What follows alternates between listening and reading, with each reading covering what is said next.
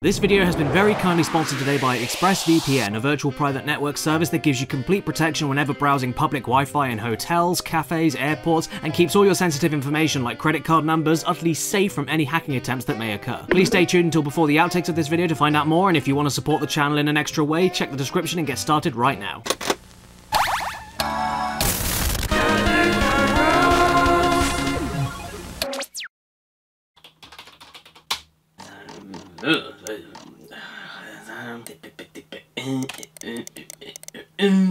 Oh yeah, that's the good stuff.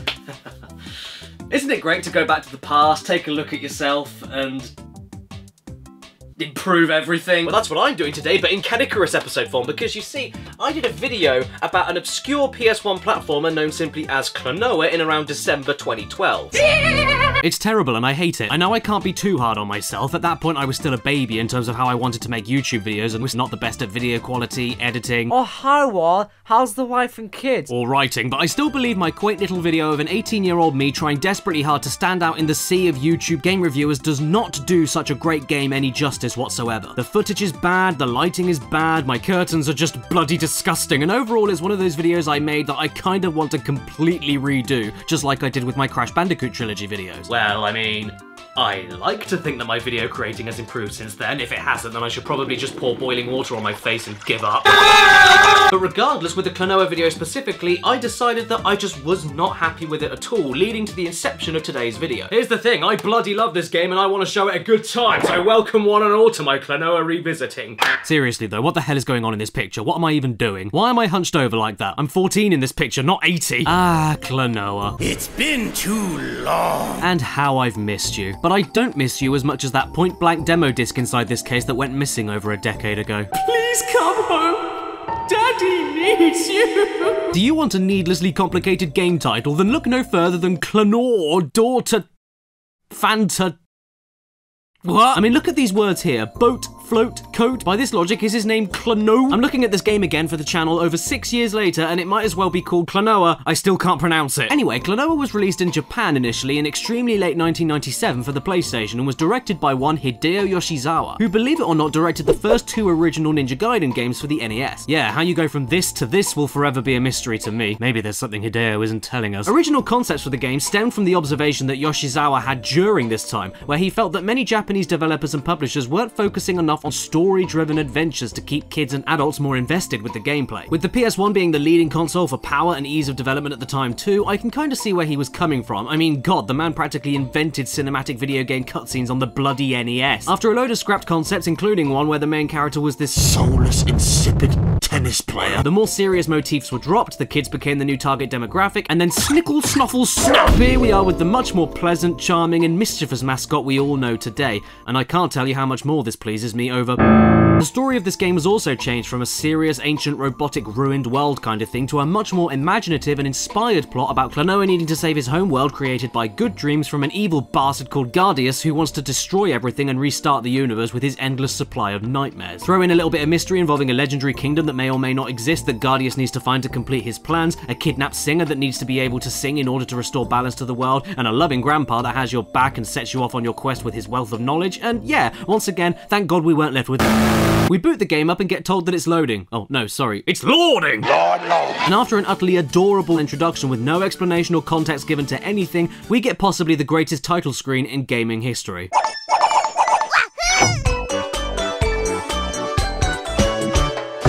Yeah, that's it. No joke. It pops up, does its and then just stops. It's like a late night mugging. It gets straight to the point, you know? But because the jingle is so happy, it's more like a late night mugging at Disneyland. And yes, even after all this time, it still makes me want to jump up and dance.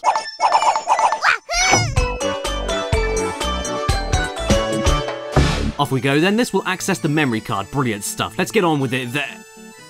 Are you having a laugh? Oh well, gotta start again. Back to the jingle.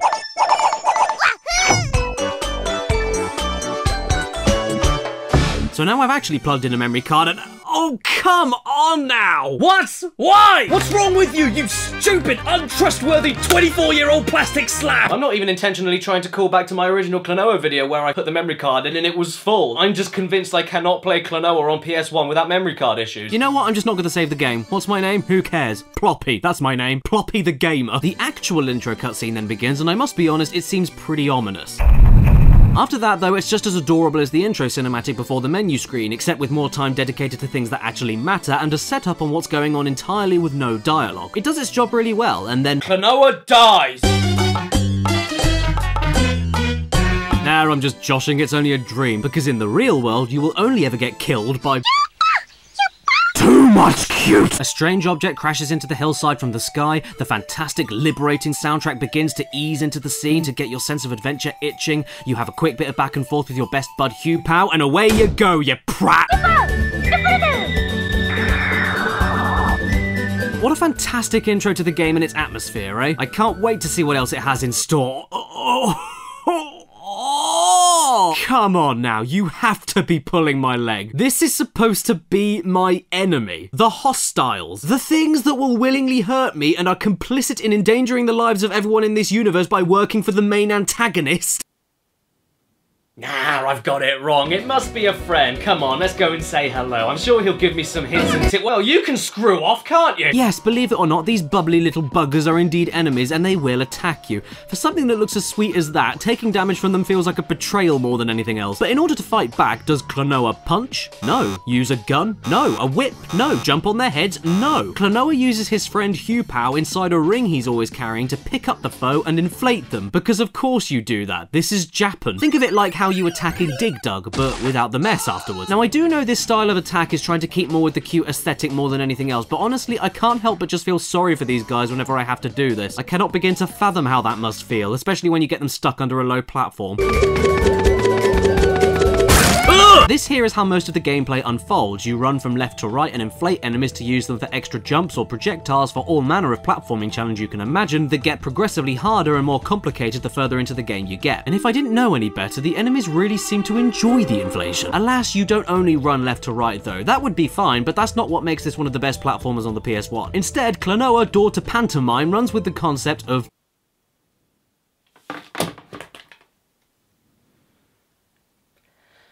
2.5D.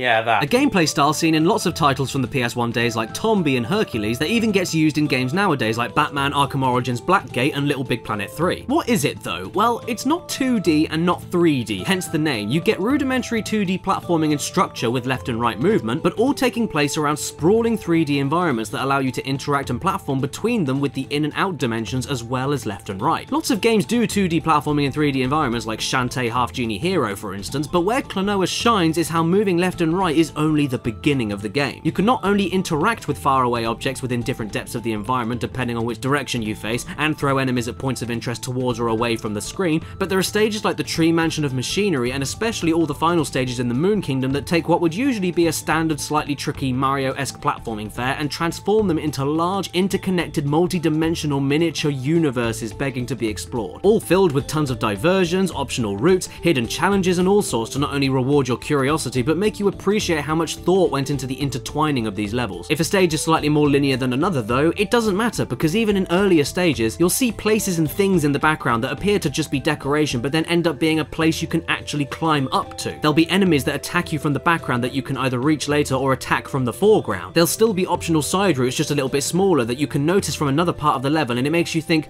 hmm, how do you get there? And therefore urge you to search around the level extra hard for a door you might have missed or a method of using an enemy that allows you to flip your way onto that particular x-axis to reach it. And my god, do you have any clue how satisfying it is when stages let you flip the x-axis around like that totally naturally by you just platforming around like you always would? Me! I'm Jesus! Aside from some of the most creative and inventive use of 2.5D mechanics for the PS1 days though, the way the actual platforming and enemy inflating God, that sounds weird. is deepened and kept fresh throughout the entire runtime is nothing short of miraculous. Klonoa, daughter Pint of Milk, is great at introducing concepts and challenges to you based around grabbing and throwing enemies in safe locations, and then lets you loose with more challenges expanding on these ideas that get more complex and life draining with every stage. You'll begin with things like grabbing enemies and throwing them into bigger enemies to get past, but soon that will evolve into freezing the bigger enemy so you can jump on them while holding another enemy in order to reach a higher platform, which will then soon evolve into jumping over a hazard to grab an enemy mid-jump, allowing you to double jump into another airborne enemy, allowing you to jump mid-air yet again to reach what you need. Mix that in with the fact that your sense of timing is often tested and that double jumping with enemies automatically throws them towards the floor, and you can then see how much more experimental things can get in the game. You'll start to find enemies only attackable by you throwing an enemy down on top of them while jumping over them. You'll find timed bomb enemies that require you placing them in different dimensions of the environment in order to briefly unlock a door. New enemies with invincibility periods, defensive maneuvers, or brand new ranged attacks, and new movements that you need to get your head around. And then you'll find moments where all of these new enemy styles start working together while over bottomless pits. And in some of my favourite parts of stages, you'll find these optional moments of you trying to rescue one of the six captured citizens hidden around the stage, which often require pinpoint precision platforming and timing to pull off without losing a life or a ton of health. This all makes the difficulty curve of the game as smooth as my earlobes because of how these great snippets of new concepts and challenges are delivered to you on top of everything else that you already know. You can even use enemies in unintended ways, like saving yourself from death at the last minute if you mess up a jump, but don't rely on this since the game is smart and locks you out from certain areas that you can't fit through while holding an enemy to make sure you aren't cheating. With everything considered and the fact this is clearly For babies. I'm sure I've made Klonoa sound a bit too easy, but that's not entirely the case. I mean, the game isn't impossible, it's mostly straightforward, but it will test you, especially if you plan to go after all the trapped citizens. Not just because of the unique platforming and enemy situations themselves, but because you also have a flutter jump that you can steer mid-air for a tiny bit of distance at the cost of extremely slow speed, so relying on it can a lot of the time kill you. And even though you get a generous 6 hits before losing a life, invincibility frames are pathetic, giving you only brief windows of mistakes that can drain you to death if you panic and can't get out of those situations. Plus, you can't rely on the checkpoints to save you. If you get past a particularly hard optional citizen rescue challenge, but then die later on in the stage and haven't hit a checkpoint, well, tough. You'll go back to your last checkpoint and all the collectibles you found after that point will be resetted, so you have to go through them again. For kids getting into 2.5D platformers or adults looking for a decent, engaging challenge alike, the balance is struck brilliantly if you ask me. Want to know what's even better than all of this though? The only action buttons you have are jump and grab. That is it. Not only making the base game extremely easy to pick up and understand, but also streamline the more difficult sections to be as simple to execute and as satisfying as possible to overcome without you having to worry about hitting the wrong combination of multiple button commands. Throwing this in the stew pot with everything else in the game, including a practically perfect running speed, tight control responsiveness, perfect jump arc, and a great camera that tracks you perfectly and shows you everything on the screen that you need for the multi-dimensional platforming to work without screwing you over off screen, and you have a 2.5D platformer that lets you focus entirely on what is happening on the screen. Because of how well every element of the programming and level design works together and the simple control scheme, if you go wrong in Klonoa, it's 100% down to you not being able to solve the platforming puzzle and nothing else.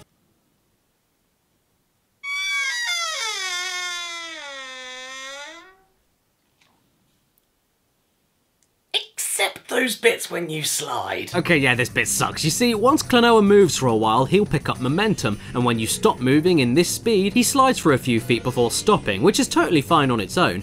Except whenever you jump, you automatically reach top speed for Klonoa in mid-air, meaning that if you land a tricky jump and don't let go of the arrow buttons until the second after you land, Klonoa will read that as movement at top speed, and so once you let go of the arrow button after you've landed, you'll slide once you hit the floor. And this left me with a lot of close calls or outright deaths, which isn't too great. But in the grand scheme of things, that doesn't affect the game as a whole, since most of the jumps are possible with allowing you to stop mid-air if need be. Well damn it all, there's a locked door here and I need a key. I've searched the whole stage for it and it definitely is not here. Where the hell is this key? Oh, I've got an idea. I'll just ask the security guard for the key and he'll just give me it. How are you employed? This is one of the many colourful characters you'll encounter in Klonoa, Daughter Phantom Virus, and they are practically all weird, freaky, thick, or a mixture of all the above. This guard here was bad enough for just letting me have the key to the granny of the woods he's supposed to be protecting. Seriously, it took no convincing whatsoever. I suppose he realised he couldn't hurt me with a dinner fork, so it was a wise choice. Why do they so desperately want to just let me through to get to their granny? I'm really sorry, guys, but Saki's skin isn't really my cup of tea. And those useless guards aren't the only ones to look out for. There are these two guys in the temple near the end of the game that have this brilliant exchange once you exit it. What are you waiting for? How about you guys? We're pacifists.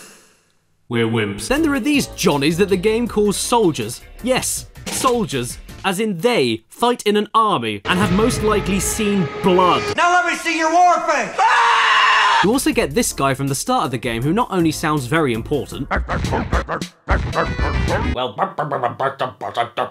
to you too. but his name is also Balue. Bal. Balue? Baloo the Bear!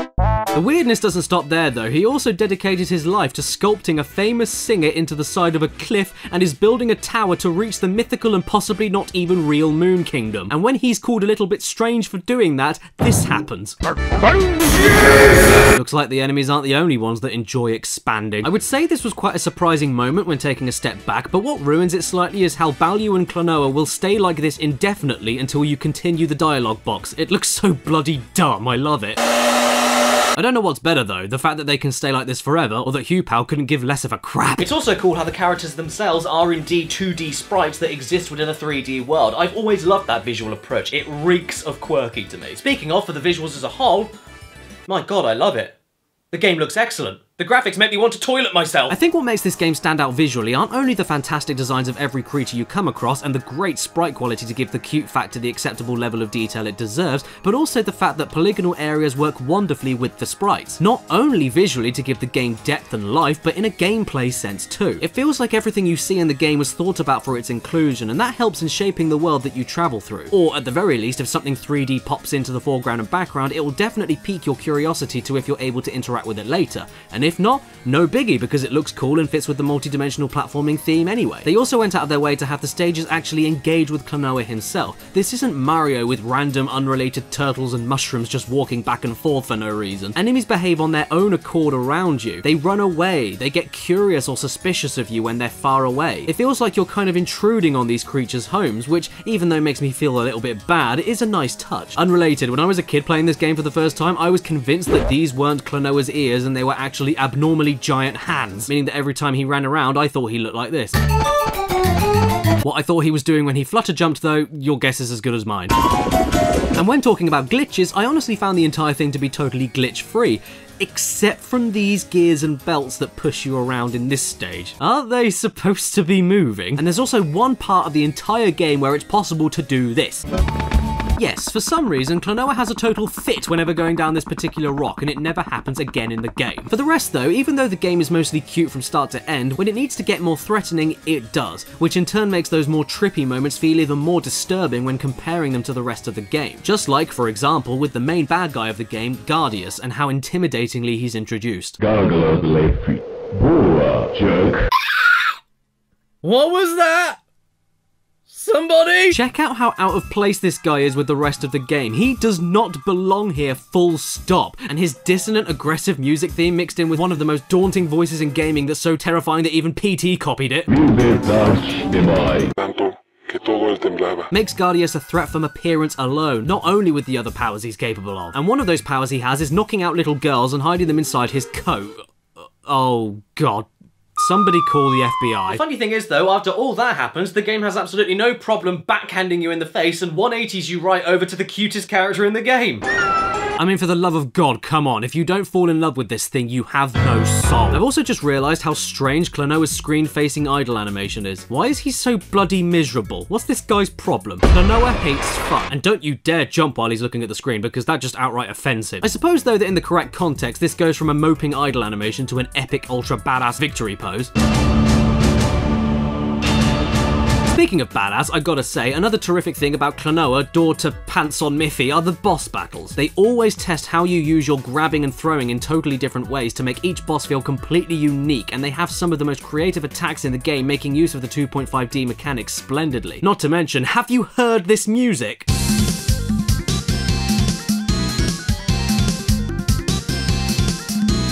After which, to calm you down after all the intensity, the game throws this gorgeous little lullaby at you while fireworks go off to close off a chapter to your adventure.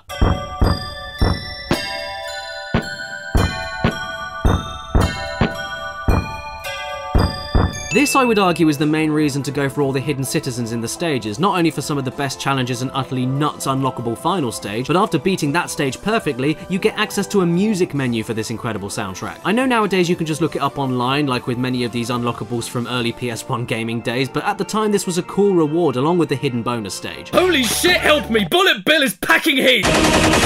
In the final moments of the game, though, after you've helped out all the hierarchy of Phantomile and closed yourself into Ghadius for the final attack, it's here where Klonoa has the cutest scene in the whole game where. Your grandpa gets bombed! What the hell is wrong with you, Klonoa? After spending the entire game jiggling car keys in my face, you're then gonna make me sit here and watch my innocent, caring grandfather die in our arms while he gasps and mutters his final words? It's horrible, and it's not what you're expecting at all, making it even more awful. This revelation is then followed up by Huepow, this cute little bugger squeaking and chirping to you throughout the whole game, morphing into his true form since he turns out to be the prince of the legendary Moon Kingdom. And he doesn't only look like a total knob, but also doesn't change his voice.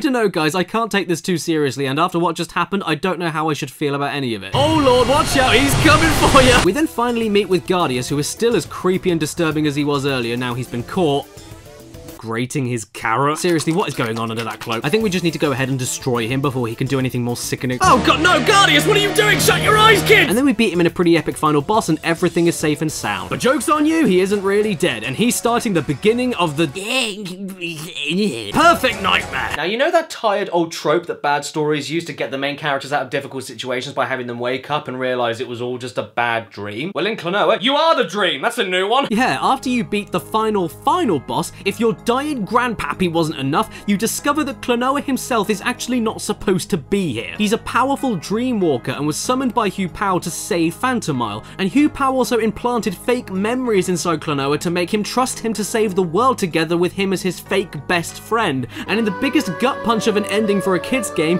a melancholy song is being la la la la la in your face while our main characters cry their eyes out and get separated. Hey, everyone, you see these two here? Yeah, these two from this lovely little game that I'm playing about two little critters going on a lovely adventure. Well, I hope you're not a fan of it because it's evil and I'm going to cleanse it. I hope you enjoy hell. Even better, after this, the game just stops. The end. How cruel. This was a 3 plus for God's sake. Yeah, for toddlers upwards. Imagine that. Hey kids, here's a happy flappy game about a kitty witty with Pac-Man on his head. But your best friend isn't real and your granddad's dead. The implications of this ending are way too heavy as well. I mean, Klonoa truly believes that Phantomile is his home. Look at how distraught he is when he's told the truth. He doesn't believe it. He'd rather be in this fake reality with artificially implanted memories than with his real friends and family he likely doesn't even remember. By the end of the game, Huepow and Klonoa may have been through a lot and became true friends deep down, and at the end of the day, if Klonoa wasn't 100% complacent with the idea of saving the day, then the entire universe of good dreams would have ended, meaning nobody would be here in this universe, so that's better than nothing, but I really don't think Huepow had to go that extra step to ensure Klonoa's loyalty to him, only to then rip it away from him once the deed was done. Yeah, he's upset about it, but he knew it was coming. Even better, while I spent the entire credit sequence pondering all of this in my head, it finally ended and closed off this depressing little tale with the front cover of Klonoa the book, written by the treasured and respected author Ploppy. Well, to be more serious for a second, yeah, even though that ending does appear out of absolutely nowhere, with the only hints of it coming up in the game being that the names of the stages are called visions, I honestly think that endings like that make you look back at the more memorable story moments in a completely fresh perspective. And yeah, it's depressing as hell, but that doesn't make it bad. It's thought-provoking to say the least, and it's a pretty decent twist for a platforming game for children. And what a great game it is overall. Klonoa may have had positive to mixed reception at its release, but I've got to say, I don't understand the mixed reception at all. This is one of the best platformers on the PlayStation as far as I'm concerned, with a lot of challenge to offer along with original concepts and art direction. The difficulty curve is great, the bosses are great, the optional stuff is top notch and well worth going after, the visuals pristine, and the only thing holding it back as a video game for me is the length of it. It took me around 4 hours to finish the story and maybe another 13 minutes for hidden content. It's a bit of a short ride, but that doesn't matter too much when the ride is this much damn fun and memorable. In the end though, it just makes me wonder why we were able to get Namco developed and published games on the PS Classic like Ridge Racer Type 4, Tekken 3 and Mr. Driller. But there's no love for Klonoa anywhere. It may not be associated with PlayStation platformer mascot stardom like Crash and Spyro were, but this game stands out against them tenfold. Hell, I mean, even the guy I was talking about earlier in this video, the director of this game, he produced Mr. Driller and supervised Ridge Racer Type 4, so, I mean, why wasn't this included on the PS Classic? And why was it remade on the Wii? Hey everybody, and thank you so much for watching today's video right until the very end. Outtakes will be on in just a second, so please stay tuned for that. But first, I'd love to give another thanks to the sponsors for this video today who have supported this channel in an amazing way, ExpressVPN. As I said earlier, ExpressVPN is an extremely useful service that I have used myself many a time in order to encrypt my data whenever using public Wi-Fi and keep all my vital payment information totally secure. And since I go to many a hotel with my job, this is a crucial bit of kit for me. Once you sign up, all you need is the app for your PC, Mac, iPhone, Android, Linux, there's so many choices to go through, and then all you do is sign in, open up the app, press the little button there, um, once you've picked your server location at the bottom as well, and then you get connected. There we go, we're connected. And since it has the fastest speeds of other VPN providers, you won't think twice about hitting that button whenever you start browsing. At less than $7 a month with a 30-day money-back guarantee, you can't really go wrong. And by going into the description below to the link expressvpn.com forward slash caddy, you can get yourself a three-month free trial of it. Yeah, free, so go and check it out right now to help support the channel, and also Thank you to all the people on screen right now from my Patreon page who have also supported the channel in an amazing way. Thank you so much, every single one of these people, and special, special thanks to the top tier Patreon supporters for this month. Basil, I Have a Portal Gun, Exopaz, Matthew Hubble, Mills Kahai, Brandon Brandon, Kirsten B, Cyberpunk Symphony, Nicole Ganara, Dave Marshall, Nathan Young, The Game Shed, Daniel Leon, Mitchell Reed, Gamer Mohammed 2017, and AD Thornton Smith. Thank you so much, every single one of you amazing people. Caddicarus episode form, because you see, a couple of... A couple of... I'm not even intentionally trying to call back to my original Klonoa video when I put the game in and I forgot the words of the script, like I always do.